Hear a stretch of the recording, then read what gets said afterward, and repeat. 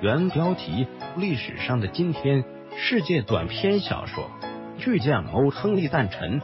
一八六二年九月十一日，美国著名小说家欧·亨利出生。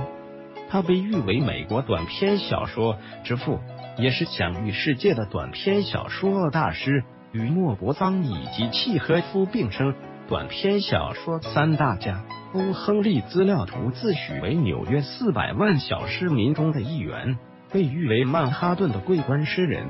欧·亨利本名威廉·西德尼·波特。在其四十九岁的短暂一生中，大部分生活是十分困顿的。他早年曾经做过药剂师和银行的职员，还曾编辑出版过杂志，也当过新闻记者，时常混迹在小酒馆、小客栈、公园、贫民窟，所以他笔下的小人物描写的十分生动。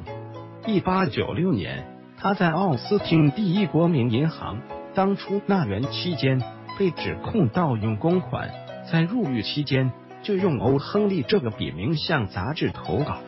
后来爱妻的去世和之后下一段失败的婚姻对欧·亨利的打击很大，所以这种生活上的不幸让他的文风变得更加透彻和带有一些社会批判性。欧·亨利的作。